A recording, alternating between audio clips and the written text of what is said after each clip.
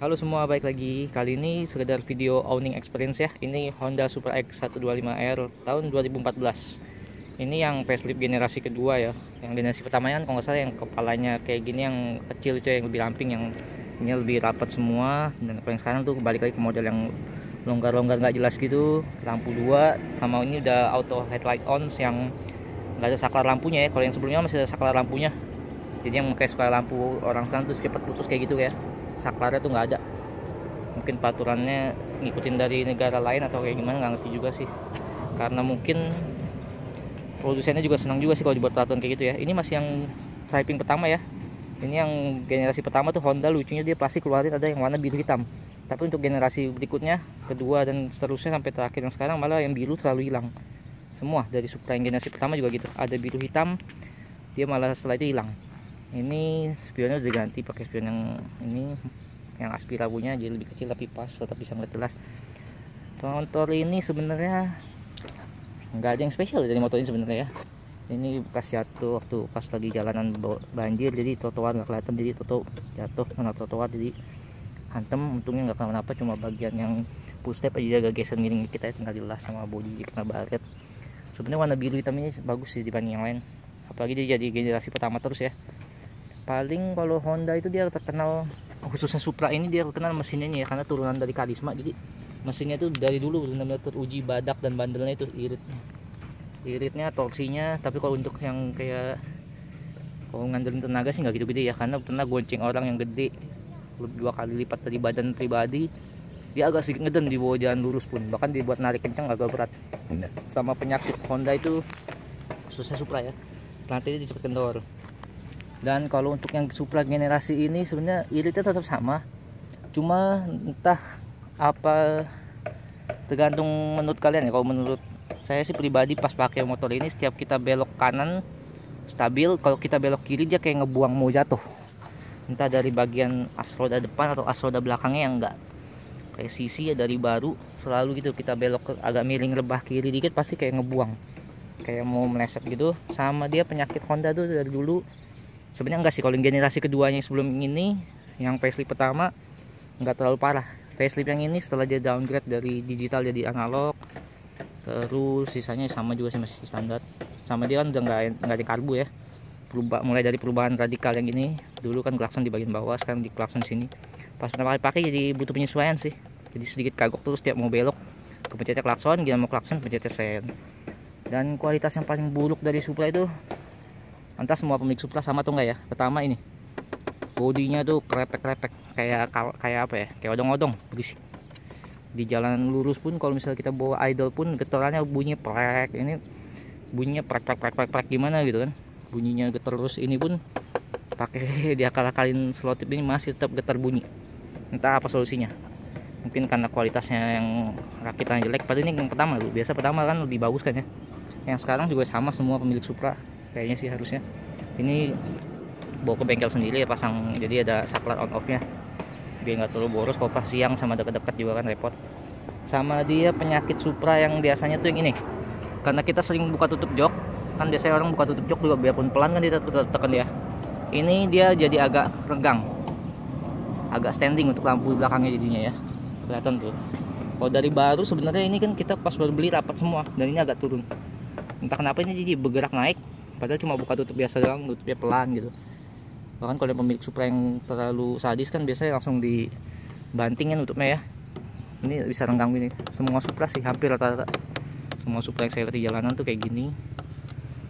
Sama apa lagi ya? Sama knalpotnya tuh kenapa downgrade gitu ya? Yang generasi sebelum ini kan dia masih bagian ini bukan besi hitam ya. Masih udah yang stainless selain selain apa namanya?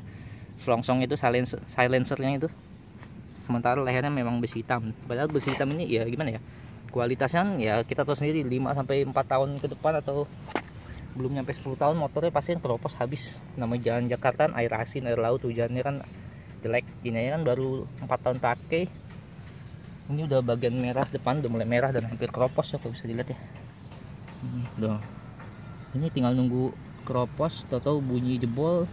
Mau nggak mau las atau ganti baru satu set kalau kayak gini kan kalau dulu kan masih stainless longsong terakhir itu kan muffler belakangnya jadi tinggal ganti lehernya. Sama kualitasnya yang unik sekarang memang iya sih ada gantungan ini ya. Ada hook buat pengait barang ini. Tapi lucunya maksimum beban satu kilo. Buat apa maksimum beban satu kilo ya kan? Rata-rata kadang memakai kan biasa kalau nggak orang rumahan ya sekedar ibu-ibu ke pasar kadang kan motor bebek ini juga kan buat gantungan yang berat-berat pastinya kan ya jebol juga kok kayak gitu. Dan dia punya oh yang spesial dari generasi yang ini tuh dia ada apa ya apa namanya punya di dalam boxnya ini ada untuk yang output charger ya. Kayak di mobil ya yang socket lighter tapi kita mesti beli socket lighternya bukan USB jadinya colok di box juga kan repot. Buka tutup terus taruh HP kelupaan malah bahaya. Sama jeleknya Supra yang terakhir ini. Nah ini kualitasnya shock depan. Baru pakai 4 tahun rajin cuci bersih padahal jarang kena banjir. Dia ngelotok sendiri catnya sampai kayak begini. Dulu pernah punya Supra yang generasi pertama yang Supra X125R yang sudah yang oh yang belum double disc masih yang kepala bulat itu yang lampu satu. Nggak ada ngelotok sama sekali dari pertama pakai itu. Sampai itu sampai udah rontok semua juga. Dan piston cakram ini cuma satu. Piston ya lucunya kalau dulu kan dua ya sekarang satu. Jadi gigitannya juga semua Honda sih ya. Kalau dibanding Yamaha atau Suzuki tarikan rem depan. Remnya nggak narik. Rem belakangnya sih yang lebih parah. Kalau depan dia masih narik. Justru ini biasa pakai pakai rem belakang ya. Ini penurunannya down gitu jadi speedo ini lagi. Analognya manual. Dulu, dulu kan digital dari bagian belakang. Dan kualitas yang paling jelek adalah swing armnya ini 4 tahun pakai sudah kayak gini. Karat di mana-mana padahal rajin bersihin dan selalu semprot. Sekalian guys. Ini karatnya udah sampai dalam banget gitu ya. Dengan nunggu rontok sama patah ya paling ini. Kalau udah patah baru ganti di swing armnya ini juga terakhir bautnya juga udah mau nggak mau dilas juga karena dalamnya keropos juga ternyata. Padahal nggak pernah keropos banjir. Selalu semprot WD setelah dibersihin. Ini kualitasnya kayak gitu. Ban sudah ganti ya. Karena tiga tahun pakai. Akhirnya ganti yang tubeless. Penyakitnya ya itu doang sih kalau Supra ini ya palingnya selebihnya nggak ada lagi paling ya kayak gitu-gitu aja memang yang tadi saya bilang ya. Padahal kalau generasi pertama generasi yang pertama itu dia kan swing armnya masih model bukan yang tab yang tabung pipa apa tabung gini ya masih yang gepeng ya ujungnya ini. Dia tuh bagus banget yang dulu. Selain lebih enteng sama dia kan jadinya nggak gampang karat juga kualitas dulu. Kalau sekarang nggak tahu kenapa downgrade kayak begini ya. Jadi semua lebih jelek. Untuk suara mesinnya sih nggak ada perubahan sebenarnya. Dia uniknya enaknya udah kalau mau isi bensin tinggal tekan ke dalam udah kebuka jok. Dan malesnya kalau injeksi itu kan kita mesti tunggu sensornya mati tadi kan baru bisa cas apa kita baru starter. Ah bisa dengar kan? Suara ada retol-retolnya. Itu tadi retol-retol itu jelek banget. Dari batok itu berisik banget. Bawa sendiri keliling udah kayak bawa gerobak rasanya cuma karena ya cuma buat sekedar pakai harian kerja atau apa pun ya udahlah. Nah, kapan jadi kebiasaan juga tapi kadang kesel juga sih. Nah. Ini retolnya parah kan?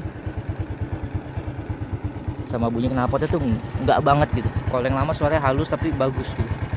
Ini suaranya begitu. Dan bunyi sensor injeksinya itu kencang banget sebenarnya kalau kita dengerin langsung dari balik jok ini. Oke mungkin itu aja video kali ini. Sampai ketemu di video selanjutnya guys jangan lupa klik like dan subscribe. See you